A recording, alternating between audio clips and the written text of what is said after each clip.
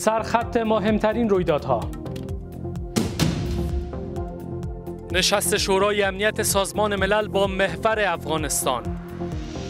قرار است امروز نشست شورای امنیت سازمان ملل متحد درباره بررسی وضعیت افغانستان به ویژه به عنوان برگزار شود. نشست های باید برگزار شود. برای پاکستان که سر حکومت می‌تونه که نظر به علایقش تاثیر داشته. نگرانی تاجکستان از وضعیت امنیتی در افغانستان امام علی رحمان رئیس جمهور تاجکستان با نگرانی از وضعیت امنیتی در افغانستان خواستار ایجاد کمربند امنیتی شده است. خواست امارت اسلامی از جهان برای کمک به نیازمندان عبدالغنی برادر معاون اقتصادی رئیس وزیران از جامعه جهانی خواست تا به آسیب دیدگان رویدادهای طبیعی پسین در کشور کمک کنند. د ملکو خلگی دا بیا هم دا خواهش کوو چې د افغانستان دغه ستونزو ته دې متوجه شي و اینکه استعفای نخست وزیر بریتانیا لیستراس نخست وزیر بریتانیا پس از یک و نیم ماه نخست وزیری استعفا کرد.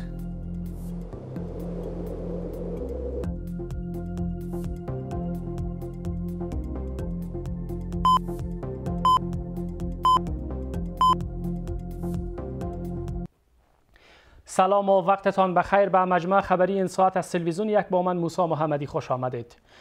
نشست ویژه شورای امنیت سازمان ملل متحد زیر نام با عنوان صلح امنیت امروز با محوریت افغانستان برگزار می شود. نماینده افغانستان در سازمان ملل می گوید در این نشست روی وضعیت افغانستان به ویژه وضعیت به عنوان و دختران در افغانستان تمرکز خواهد شد. شماری از آگاهان اما به این باورند که این گونه نشست ها در جریان یک سال گذشته پیوسته برگزار شده اما نتیجه ملموس برای افغانستان در پی نداشته است. نشست شورای امنیت سازمان ملل متحد با محوریت افغانستان. قرار است تا لحظات دیگر عضوهای شورای امنیت سازمان ملل متحد نشست ویژه را زیر نام بانوان صلح و امنیت برگزار کنند. در این نشست وضعیت افغانستان به بررسی گرفته می شود و به ویژه روی وضعیت بانوان و دختران در افغانستان تمرکز خواهد شد. فشارها می‌تونه تاثیرات خود داشته باشه ولی این گزینه که روی دست است بدون فشار باید امارت اسلامی روی اون معیارها باید خود آماده بسازد تا حقوق شهروندان به درستی در پرتاب قانون تطبیق تامین شود. بیش از یک سال می شود که مکتب های دختران بالاتر از صنف ششم بسته است. اما هدربار معاون بخش دیدبان حقوق بشر می گوید هدف از این نشست اعمال فشارهای بیشتر بر امارت اسلامی است. امسال در این روز یک فعال حقوق بانوان افغانستان وضعیت بانوان در افغانستان را بیان خواهد کرد. باید به شورای امنیت سازمان ملل و دیگران گفته شود که وضعیت بانوان در افغانستان کاملا نامناسب است و این بحران یکی از بحرانهای جدی حقوق زنان در جهان است. در سوی دیگر با آن که در یک سال پس نشست های زیادی در مورد افغانستان برگزار شده اما آگاهان سیاسی در مورد این نشست دیدگاه های متفاوت دارند. نشست های باید برگزار شود برای پاکستان که سر حکومت می‌تونه که نظر به علایقش تاثیر داشته باشه. قطر که نظر به علایقش می‌تونه تاثیر داشته باشه. این نشست هایی که در دور میشه با لابی های که هستن این سر این حکومت در کابل تاثیر نداره. امارت اسلامی اما پیوسته گفته که صلح و امنیت در کشور پس از دهه ها تامین شده به حکومت به حقوق اساسی شهروندان به ویژه بانوان در چوکات شریعت اسلامی احترام دارد. با آنکه بیش از یک سال از روی کار آمدن امارت اسلامی در افغانستان میگذرد اما تا هنوز از سوی هیچ کشوری به رسمیت شناخته نشده است. رئیس جمهور تاجکستان از وضعیت امنیتی در افغانستان نگرانی کرده و خواستار ایجاد کمربندی امنیتی در اطراف افغانستان از سوی کشورهای منطقه شده است. امام علی رحمان در نشست همکاری جهانی و منطقه امنیت و مدیریت مرزها برای مقابله با حراس افغانی گفته که حراس افغانان و بنیادگرایان با استفاده از نهادهای مددرسان زیر نام پناهجو به کشورهای دیگر راه می‌یابند. همزمان وزیر داخلی تاجکستان ادعا کرده که به سه هزار عضو گروه های حراس افکن از سوی امارت اسلامی گذرنامه توضیح شده است. امارت اسلامی اما بارها اطمینان داده که از خاک افغانستان بر ضد هیچ کشور استفاده نخواهد شد. جزئیات بیشتر در گزارش از بشیر احمد شیرزاد. خواستها بر ایجاد کمربند امنیتی در اطراف افغانستان. رئیس جمهوری تاجکستان در نشست همکاری های جهانی و منطقه امنیت و مدیریت مرزها برای مقابله با حراس افغانی که شنبه در تاجکستان برگزار شده گفته که سوق و اعزام تندروان از شرق میانه و تقویت صفهای آنان در افغانستان برای کشورهای آسیای مرکزی تهدید جدی است. امام علی رحمان با ترغیب کشورهای منطقه افزوده که در دو سال پسین این کشور 175 تاسیسات مرزی را در امتداد مرز با افغانستان بنا کرده و قرار است در آینده 300 بنا و تاسیسات دیگر را نیز ایجاد کند. حراس افغانان و بنیادگرایان با استفاده از نهادهای مددرسان به پناهجویان زیر نام مهاجر و پناهجو به کشورهای دیگر راه می‌یابند. باید ارزش های حقوق بشری با توجه به این وضعیت جدا از حراس افکنی و افرادگرایی بررسی شوند و به عاملان حراس افکنی پناه داده نشود. بل آنان بازداشت و زیر پیگرد قرار گیرند. برای کشورهای آسیای از راه های دیپلماتیک فشار وارد کردن و در راستا وعده کمک و همکاری را حتی به اینا کردن که روسیه حاضر است که در قسمت کمک بکنه و از اینا خواستن که مرزهای خود در امتداد با افغانستان اینا تقویت بکنن در همین حال رمضان رحیمزاده وزیر داخله تاجیکستان هم در همین نشست از گشایش مدرسه های جهادی در ولایت های شمالی افغانستان که هم مرز با تاجیکستان هستند سخن گفته است. به سه هزار تن از عضوهای گروه های عراس افغانی گذرنامه توضیح شده و در این اواخر در ولایت های شمالی افغانستان که هم مرز با تاجیکستانند مدرسه های جهادی گشایش یافته و همچنان گروه های عراس افغانی از شرق و جنوب افغانستان در بخش های شمالی این کشور جابجا می شوند. جامعه جهانی اطمینان دهد که از خاک افغانستان هیچ نوع حمله های تروسی به کشورهای همسایه و منطقه صورت نمی‌گیرد لازم است تا یک امانگی مشترک مبارزه علیه گروه تروریستی در منطقه ایجاد شود امارت اسلامی اما بارها گفته که به هیچ کس یا گروه اجازه نمی دهد تا از خاک افغانستان بر ضد کشورهای دیگر به ویژه همسایه های افغانستان استفاده کند. وزارت دولت در امور رسیدگی بر رویدادها از کشته و زخمی شدن بیش از 5 هزار تن و تخریب دست کم 20 هزار خانه مسکونی در پی رویدادهای طبیعی در یک سال پس این خبر می دهد. عبدالغنی برادر معاون اقتصادی رئیس وزیران در مراسم گرامی داشت از روز جهانی کاهش رویدادهای طبیعی از جامعه جهانی خواستار کمک برای رسیدگی به آسیب دیدگان رویدادهای طبیعی شده است. همزمان با این شماره از نهادهای مددرسان وعده کمک به آسیب دیدگان پسین در افغانستان کردند. نوید سمدی گزارش می دهد. خواست امارت اسلامی برای کمک با آسیب دیدگان رویدادهای طبیعی پسین در کشور وزارت دولت در امور رسیدگی به رویدادهای طبیعی و شماری از چهره های بلندپایه حکومت برای گرامی داشت از روز جهانی کاهش رویدادهای طبیعی گرده هم آمدند. بر بنیاد آمارهای رسمی در یک سال پسین در پی رویدادهای طبیعی نزدیک به 5 هزار تن کشته و زخمی شده 20 هزار خانه مسکونی تخریب هزاران جریب زمین زراعتی زیر آب و هزاران رأس مواشی هم تلف شدند. سپیل حال اوسني شرایط کې اسلامي امارت د دغه حادثات لپاره یو اکو پنځه وزارت په دې کې تشکیل چې د خلکو مدد وکړي. په دې کې د حوادث سره میاشته مهاجرین دي داسې پنځه وزارت په دې باندې شرکان دي. د دې وزارتو سره سره یو بل اداره جوړه کړې ده ورته چې هغه د اقتصادي دغه د مرستیال مشري لاندې ولس وزارت پکې اقتصادي پابندیان موجودې وي په لنډ وخت کې د دې ځان اشغال ختم شوی وو نوې یو نظام منځته راغلی اسلامي امارت په داسې حالاتو کې داسې وخیمې پیښې د افغانستان د خلکو د پاره د افغانستان د نظام د پاره. دا یو ډیر سنگینه مسله او ډیر سنگین او وخیم حالات رامنځته کړو عبدالغنی برادر معاون اقتصادی رئیس وزیران در این مراسم از جهان میخواهد تا به آسیب دیدگان اخیر کمک کنند. اوس بیا هم د ژمي پر رسیدو دی کوم دلته موجوده کوم مؤسسات کوم د خواخوږو ملکو خلک د هغو نه بیا هم دا خواهش کوو چې د افغانستان دغه ستونزو ته دې متوجه شي. ام دومره ویلی شو چې دا الله طرفه دي دا به راځي. خو چون یې د دې لپاره چې طبیعي پېښې ته موږ اماده شو او د دې هغه څه چې ملت یا موږ سره خیریه بنسټونه یا ګاونډیان یا ټول نړیوال په کوم بخش کې موږ سره همکاری کړي جو یغی مننه شکریا ادا کوي شماری از نمایندگان نهادهای مددرسان که در این برنامه حضور دارند وعده کمک با آسیب دیدگان را می کنند. We need also to coordinate these issues with the Ministry of Public Health. تمرکز ما این است که چگونه بتوانیم به آسیب دیدگان پسین کمک های بشر دوستانه خود را انتقال بدهیم.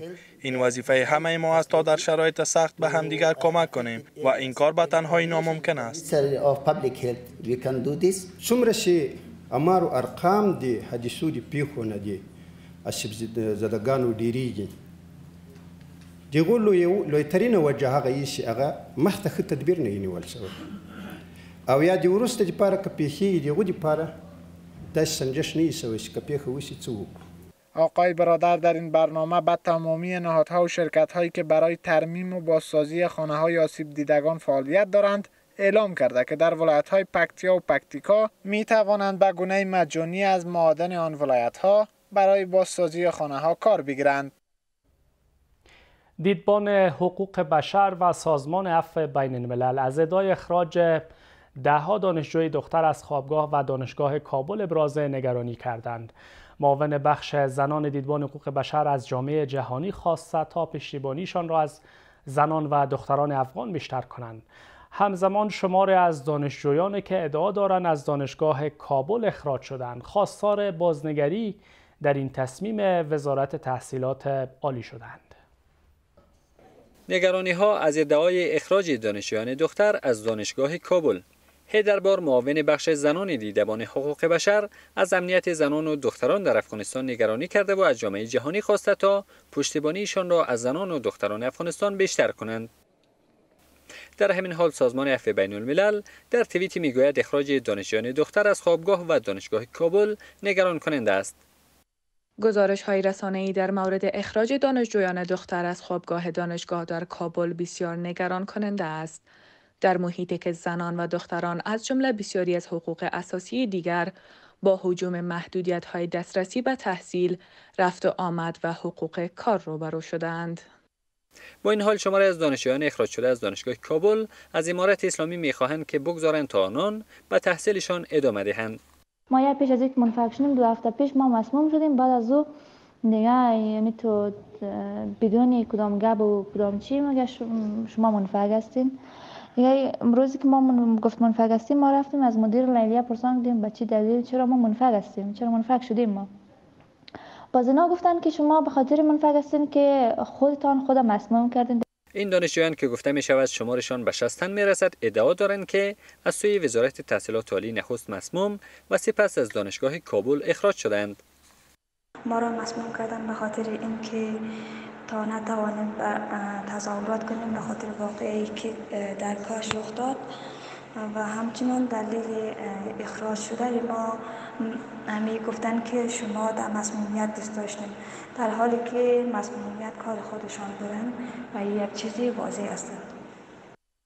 برخی از فعالان حقوق بانوان از امارت اسلامی میخواهند تا در اخراج دختران از خوابگاه و دانشگاه کابل بازنگری کنند. د حکومت د دنده ده چې دوی مسیلینو ته خصوصا جنو مسیلینو ته د دې زمينه برابر کړی چې دوی وشي کړی خپل پانتونونه تر اخره پورې پای ته ورسوي او یو ښه شرایطو کې او په امن شرایطو کې درس ویي که چیرته ځنې مسیلین اخراج کیږي او اجازه نه ورکول کیږي چې دوی خپل پانتون تر سره پورې ورسوي زه فکر کوم په دغه فیصله باید دوباره یو غور وکړي وزارت تحصیلات عالی تاکنون در این مورد واکنش رسمی نشان نداده و ما هم با تماس های مکرر موفق به دریافت واکنش این وزارت در این مورد نشدیم. ریچارد بنت گزارشگر ویژه حقوق بشر سازمان ملل برای افغانستان وضعیت حقوق بشری در این کشور را نگران کننده خوانده است.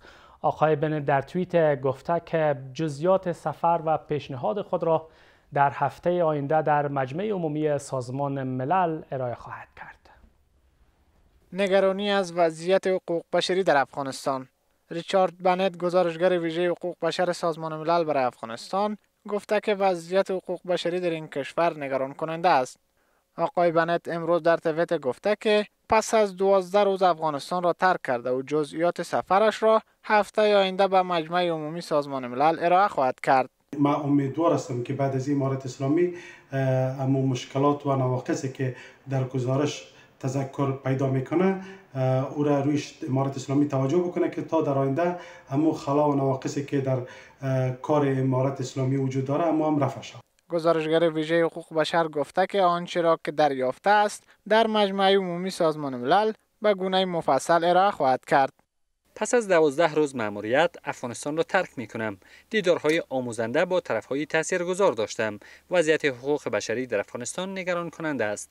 آنچه که آقای بنت احساس کرد و دید در پنشیر نقضی آشکاری حقوق بشر یقینا اظهاراتی که آقای بنت انجام داده آنچه که واقعیت از در افغانستان مو مسائل است مردم افغانستان انتظار از این دارند که این بار با نشر گزارش آقای بنت و اظهاراتش سازمان ملل و نهادهای حقوق بشری سازمان ملل در قبال مسئله افغانستان به تفاوت عمل نکند.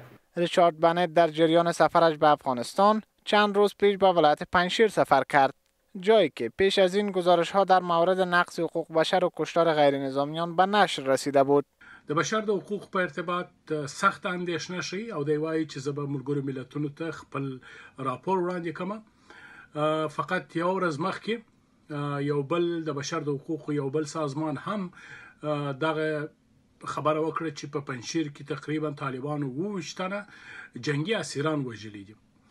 اما امارات اسلامی پیوسته گزارش ها در مورد نقص حقوق بشر در افغانستان را رد کرده و گفته که امنیت در افغانستان تامین شده است و در جهان لیستراس نخست وزیر بریتانیا رهبر حزب محافظه‌کار بعد از تنها 45 روز پیروزی در انتخابات داخلی حزب محافظه‌کار از مقام خود استعفا داد. به این ترتیب خانم تراس در میان نخست وزیران تاریخ بریتانیا کوتاهترین دور حضور در قدرت را دارد. او چهارمین نخست وزیر بریتانیا است که ظرف شش سال اخیر قربانی اختلافات داخلی حزب محافظه کار می شود. به گفته خانم تراس با مقام های حزبی توافق شده که طی هفته آینده انتخابات درون حزبی دیگر برای انتخاب جانشینی او برگزار شود.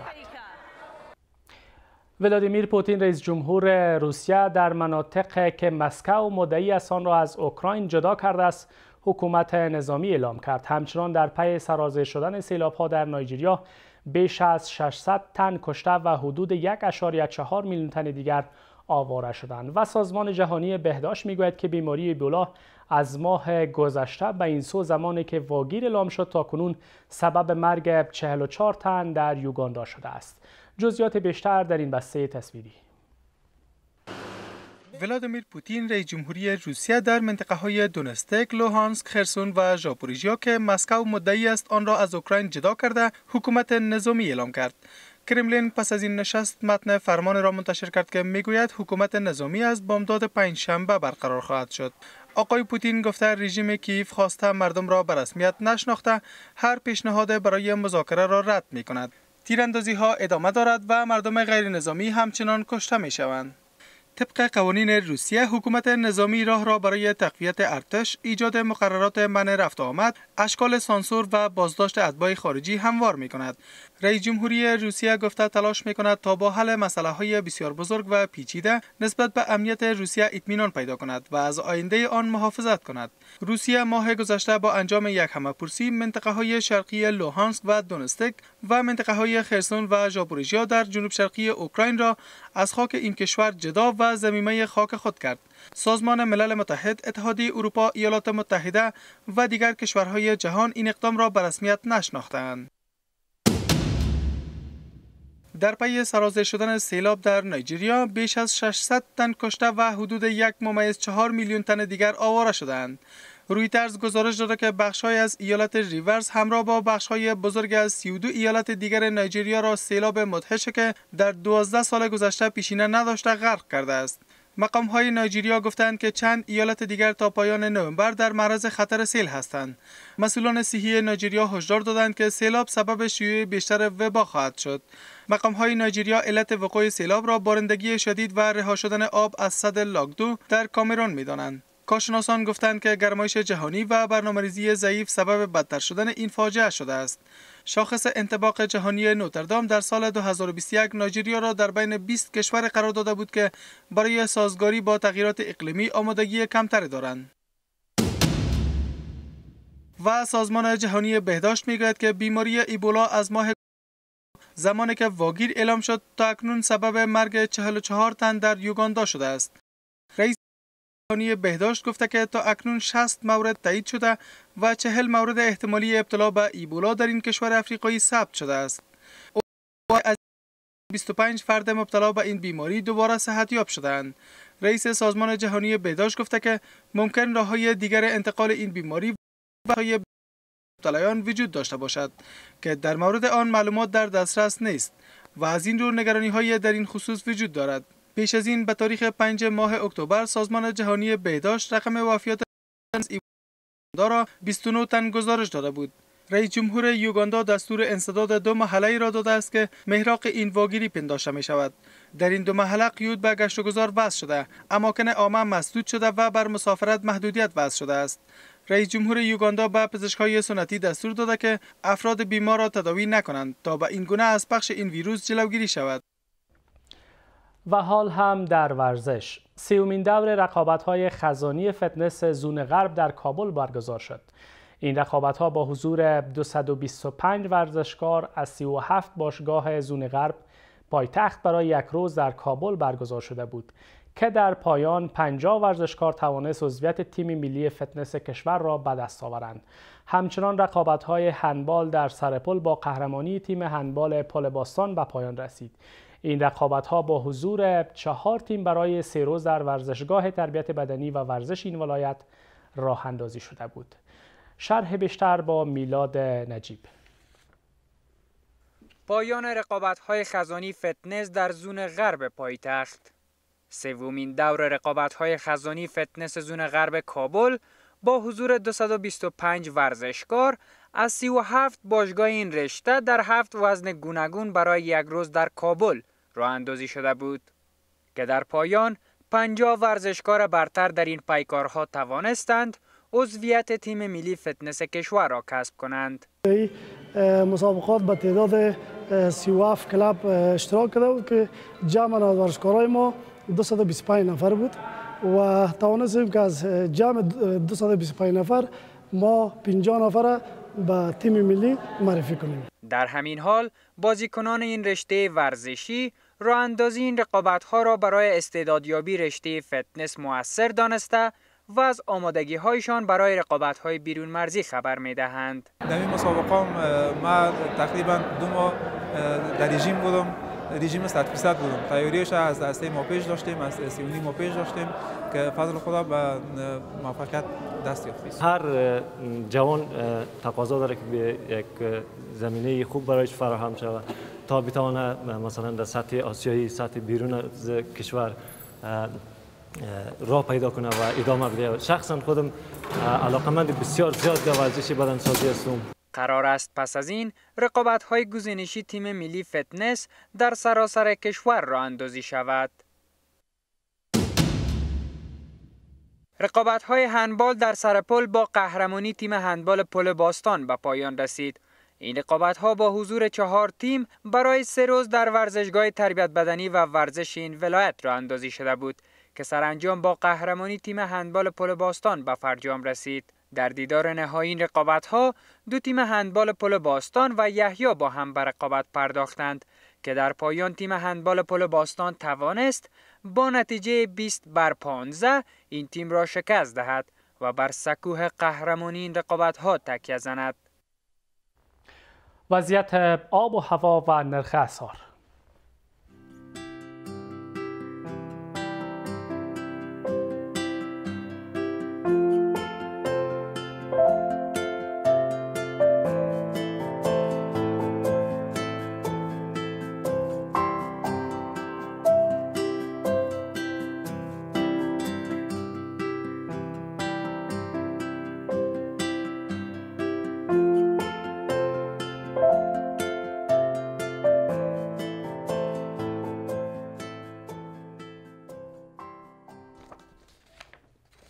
پایان مجموعه خبرهای این ساعت وقتتان بخیر خدا نگهدار.